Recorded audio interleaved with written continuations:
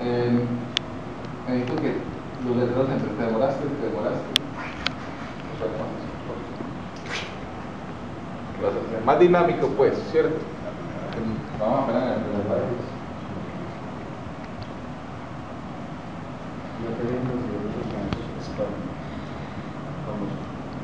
Sigue grabando sin batería. 5, 4, 3, 2. Cuando envíe correos a más de un destinatario que no se conocen entre sí, use la opción CCO, que significa copia de carbono. Perdón. Copia de carbono, sí. Grabando. Cuando envíe correos a más de un destinatario que no se conocen entre sí, use la opción CCO, que significa con copia oculta o copia de carbono oculta. Así los destinatarios no van a conocer todas las direcciones de correo y no van a recibir los famosos spam o correos no solicitados. Ah, y tampoco envíe cadenas de correos, porque esas también son spam. Cuando envíe correos a más de un destinatario que no se conocen entre sí, use la opción CCO, que significa con copia oculta o copia de carbono oculta. Así los destinatarios, Arriesgado. Cuando envíe correos a más de un destinatario que no se conozcan entre sí, use la opción CCO, que significa con copia oculta o copia de carbono oculta. Así. Esa vaina no pasa. No le puede. Y- Tengo coquito. Coquito, coquito.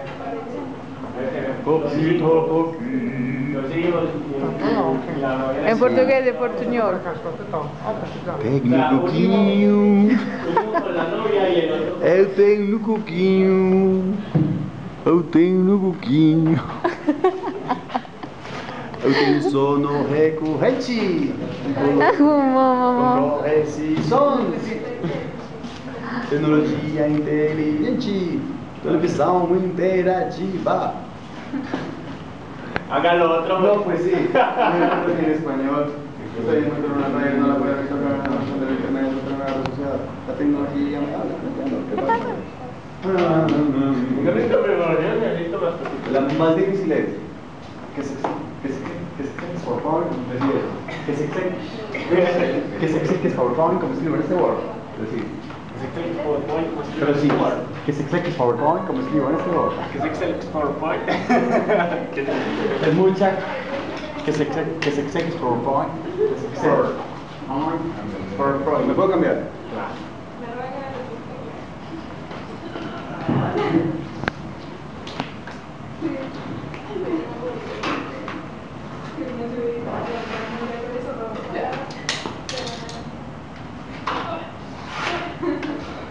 12. Está haciendo video. Son las 12, casi la 1. La mona está haciendo así. Eh, ese es el final de un pedacito de Tecnoboquito. Faltan dos capítulos, tres. Tres capítulos. Tres capítulos. Porque nos equivocamos en una pequeña cosa. Vaya, Andrea, porque pone rojo.